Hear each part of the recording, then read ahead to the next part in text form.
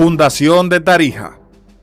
La ciudad de Tarija fue fundada en 1574 por el capitán Luis de Fuentes y Vargas, llevando el nombre del primer español que inició la exploración del territorio, Bernardo de Tarija. El principal objetivo de la fundación de la ciudad de Tarija fue establecer un antemural a las incursiones de los terribles chiriguanos desde el Chaco y por aprovechar de las ventajas geográficas que la región brindaba al desarrollo de la agricultura y la ganadería.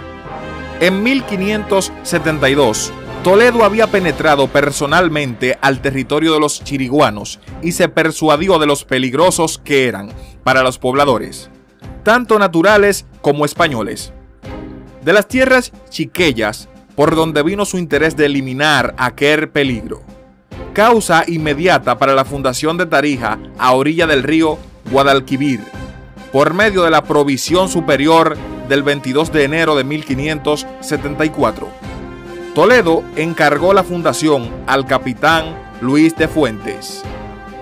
Fundada la ciudad, los misioneros realizaron la conquista espiritual de los nativos tarijeños Principalmente en el siglo XVII, misioneros franciscanos, dominicos y jesuitas llegaron a Tarija, desde donde partían hacia la peligrosa zona del Chaco.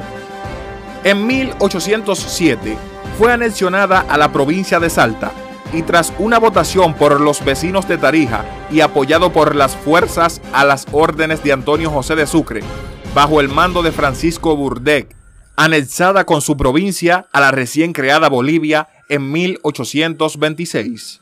Tarija, ciudad originalmente fundada con el nombre de Villa de San Bernardo de la frontera de Tariza, es un municipio y una ciudad de Bolivia, capital del departamento homónimo que se encuentra ubicada en el valle del río Nuevo Guadalquivir, a 1874 metros.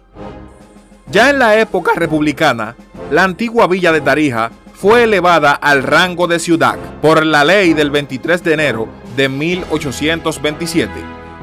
Cuatro años más tarde, el territorio tarijeño se constituía en Departamento de la República, ley de 24 de septiembre de 1831.